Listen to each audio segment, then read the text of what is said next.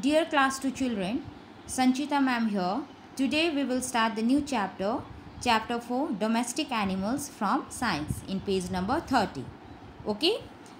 First of all, I want to tell you what are domestic animals. Those animals that we keep at home or in farms, they are called domestic animals. For example, cow, goat, horse, etc. These animals are very useful to us in many ways. Some animals like cow, buffaloes, goats give us milk and milk is very important for us which contain protein, calcium and which makes our bones and teeth stronger. So children, you must drink milk every day. From milk, we can make milk product milk products like curd, butter, ghee, cheese, ice cream, etc.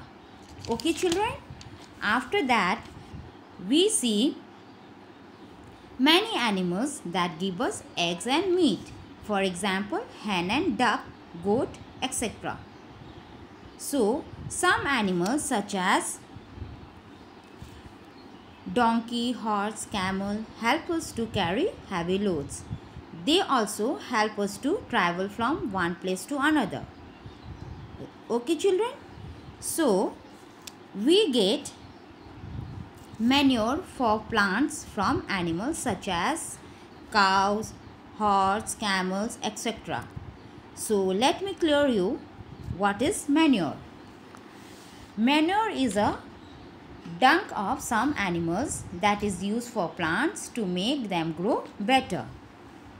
Student, dung are waste matter of animals. Okay. He, now, here I am giving I am going through this question answers. Listen it carefully. Is that clear? See number 1. What are farm animals? Animals that are kept in farms and give us many things are called farm animals.